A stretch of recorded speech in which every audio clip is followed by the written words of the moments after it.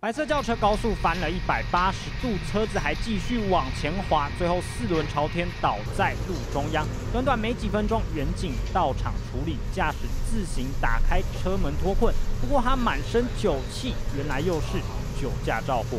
讲话一直迷迷糊糊，一定是酒驾。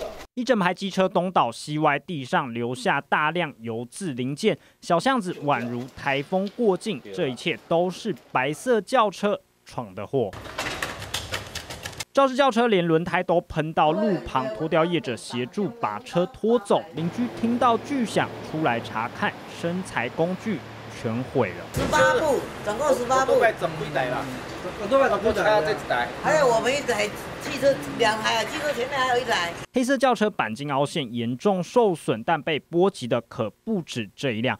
二十八号凌晨两点，这一辆轿车在巷弄左冲右撞，一共两辆汽车、十六辆机车遭到波及。巡逻刚好在周遭啊做一个巡逻，刚好听到声音之后，然后上前盘查。